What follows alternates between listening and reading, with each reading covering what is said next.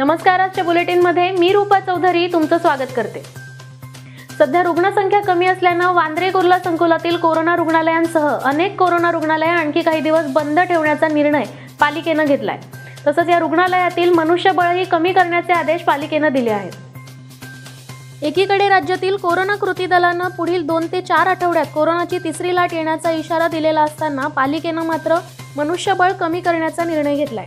तेव्हा दुसऱ्या लाटेप्रमाणेच तिसऱ्या लाटेच्या सुरुवातीच्या काळात डॉक्टर आणि परिचारिकांचा पुन्हा तुटवडा भासण्याची शक्यता व्यक्त केली जाते.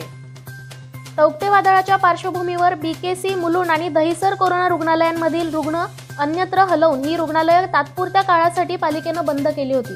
त्यानंतर पावसाळ्याची दुरुस्ती सुरू असल्याचं सांगत ही रुग्णालयं पुन्हा रुग्णसेवेसाठी खुली केली नाहीये मात्र आता याला महिना उलटत आला तरी पालिकेनं ही रुग्णालयं अद्याप सुरू केली नाही उमरा बायपास रोडवर एका ट्रक चालकानं घाईघाईनं एका कारला ओव्हरटेक केल्यामुळं कार चालकाचं संतुलन बिघडलं आणि नियंत्रण सुटून ही कार नाल्यात जाऊन कोसळली. जावेद असं या कार चालकाचं नाव असून तो मुंबऱ्याचा राहणार आहे. यात कोणतीही जीवितहानी झाली नसली तरी कार मालकाचं मोठं नुकसान होऊन चालकाला किरकोळ जखमा झाल्या आहेत. बड़ी कंटेनर वाला रैश ड्राइविंग कर रहा था। लेफ्ट में मुझे दबाते दबाते आ रहा था यहाँ से। मैं गाड़ी स्लो करते करते रोकने करता तो मुझे उसने पूरा हिस्सा दबा दिया कि यहाँ गाड़ी पलटी हो गई फिर पूरा लेफ्ट में ही दबा दिया उसने। मैं बस इतना कहना चाहूँगा कि ये ट्रक वालों से का कुछ करना चाहिए बहुत मतलब रैश ड्राइविंग करते हैं ये।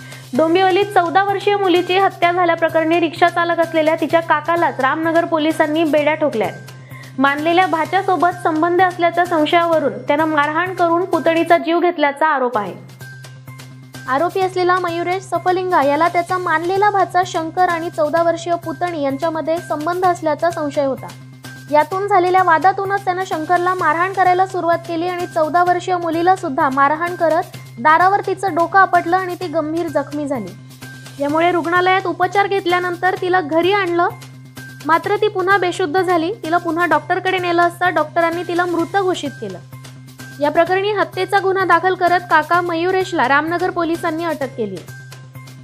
कोरोना काळात मास्क वापरणं महत्त्वाचं आणि सक्तीचं आहे मात्र यामुळे पोलिसांना एक नवीन डोकेदुखी निर्माण झाली आहे. अनलॉक प्रक्रिया सुरू झाल्यापासून सोनसाखळी लंपास करणं आणि घरफोडी या दोन गुन्ह्यांमध्ये शहरी भागात कमालीची वाढ झाली आहे. यात मास्कमुळे सी सी टी व्ही कॅमेऱ्यामध्ये चोरांची छबी उमटूनही त्यांना पकडणं कठीण झालं आहे चोरी आणि घरफोडी करणाऱ्यांकडून चोरी करताना आता मास्कचा वापर केला जातोय. यापूर्वी सोनसाखळी चोरांची ओळख पटणं पोलिसांना सोयीचं जात होतं. मात्र गेल्या वर्षीपासून सुरू झालेल्या कोरोना साथीनंतर सरकारनं घराबाहेर पडताना मास्क वापरणं सक्तीचं केलंय. याचा गैरफायदा चोरांकडून घेतला जातोय. पोलिसांच्या दृष्टीनं ही डोकेदुखी ठरली आहे तबलिगी जमात प्रकरणी तीन न्यूज चॅनलला दंड ठोठावला असून त्यांना प्रेक्षकांची माफी मागण्याचे निर्देश देण्यात आलेत. न्यूज ब्रॉडकास्टिंग स्टँडर्ड अथॉरिटी अर्थात एन बी एस एकडून तीन वृत्तवाहिन्यांवर कारवाई करण्यात आली आहे. यात दोन प्रादेशिक तर एका इंग्रजी वृत्तवाहिनीचा समावेश आहे.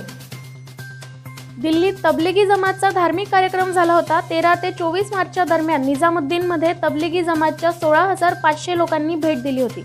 त्यानंतर तीस मार्च रोजी हा परिसर सील करण्यात आला. यानंतर कोरोना प्रसाराचा ठपका या कार्यक्रमावर ठेवण्यात आला होता. याच दरम्यान काही वृत्तवाहिन्यांनी आक्षेपार्ह वार्तांकन केल्याचं मत विविध न्यायालयांनी नोंदवलं होतं. त्यानंतर आता एन बी एसनं ही कारवाई केली आहे.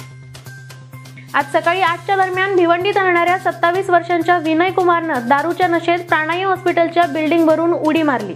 मात्र तो छतावरच अडकल्यामुळे त्याला फायर ब्रिगेडच्या मदतीनं बाहेर सुखरूप उतरवण्यात आलं. हा इसम छतावर अडकला असताना कोणगाव पोलिसांनी त्वरित फायर ब्रिगेडला पाचारण करून त्याला सुखरूप खाली उतरवून त्याचे प्राण वाचवले. त्याच्या या कृतीमागचं कारण अद्याप समजू शकलेलं नाही आहे त्याच्यावर प्राणाई हॉस्पिटलमध्ये उपचार करून त्याला त्याचा मित्र प्रेमचंद मिश्रा याच्या ताब्यात देण्यात आलंय. आठ महिन्यांपूर्वी एका गुन्ह्यात दोन अग्निशस्त्र आणि चार जिवंत काडतुसांसह तीन आरोपींना अटक करण्यात आली होती. मात्र अग्निशस्त्र बनवणारा लाखन सिंग हा आरोपी फरार होता. पोलिसांना हा आरोपी मुंबईत मिठागर गेटजवळ अग्निशस्त्राची विक्री करण्यासाठी येणार असल्याची माहिती मिळताच सापळा रचून त्याला यशस्वीरित्या पकडण्यात आलं. ग्राहक म्हणून आलेले दोन इसम पळून जाण्यात यशस्वी झाले. मात्र लाखन सिंगच्या बॅगेची तपासणी केली असता त्यात दहा देशी बनावटीच्या पिस्तूल दोन अतिरिक्त मॅगझिन आणि सहा जिवंत काडतुसं आढळली. ज्यांची अंदाजे किंमत तीन लाख पाच हजार तीनशे रुपये इतकी आहे. अधिक माहितीसाठी आमच्या संकेतस्थळावर भेट द्या. तसेच आमच्या यूट्यूब चॅनलला सबस्क्राईब करा. स्क्रीनवर दिसणारा क्यू आर कोड स्कॅन करून S B T news app download करा. आणि मिळवा आपल्या परिसरातील घडामोडींची पूर्ण माहिती एका क्लिकवर